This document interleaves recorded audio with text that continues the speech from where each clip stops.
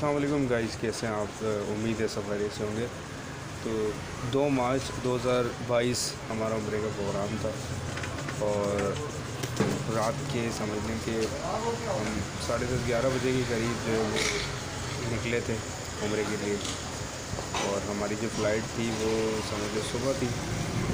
تو ہمیں، کیونکہ ہمارے ٹریول ایجنٹ نے کہا تھا کہ آپ نے جلدی آنا ہے، کافی سارے لوگ تھے تو سب کو جمع ہونا ہے رپورٹنگ وغیرہ، اس میں پروسیس میں ٹائم لگے گا۔ تو اس لیے جو ہے وہ ہم وقت سے پہلے ہی نکل گئے تھے تاکہ کوئی پریشانی نہ ہو کسی قسم کی۔ تو ماشاء اللہ یہ جو ٹریول ہے، بڑا اسموتھ رہا اچھا رہا۔ اور جیسا کہ آپ دیکھ رہے ہیں، رات کا ٹائم ہے، سناٹا پڑا ہوا اور کزن کے ساتھ جا رہے ہیں، وہ ہمیں چھوڑنے جا رہے ہیں۔ تو ماشاء اللہ آ گیا، جیسا کہ اور یہ ہم جہاز میں بیٹھ چکے ہیں۔ ساری پروسیس کا میں نے کوئی ویڈیو وغیرہ تو نہیں بنائی تھی، بس یہ کہ میں نے کہا آپ کو یہ دکھا دوں۔ جہاز وغیرہ بیٹھ گئے تھے پی آئی کی فلائٹ تھی۔ اور ڈائریکٹ یہ تھی مدینہ کے لیے۔ تو کراچی ٹو مدینہ۔ اور یہ صبح سمجھ لیں گے ساڑھے چھ، سات بجے کے قریب کی جو ہے۔ اور کھانا بہت اچھا تھا ان کا۔ بھی آئیے گا تو آپ کو پتہ ہے کہ پاکستانی فوڈ ویسے ہی اتنے اچھے ہوتے ہیں۔ انہوں نے ریفریشمنٹ ٹائپ کی چیزیں دی تھی اور سمجھنے کے تو بہت اچھا تھا۔ یعنی چائے وغیرہ کولڈ ڈرنک وغیرہ، اور یہ جو اسنیکس وغیرہ ہیں، ان کے یہ چیز اچھی مزہ آیا بہت زیادہ۔ اور کیا کہتے ہیں، زیادہ ویڈیو نہیں بنا پائے کیونکہ بار بار آپ کو پتہ ہے کہ وہ فلائٹ میں جو ہے وہ منع کر رہے ہوتے ہیں۔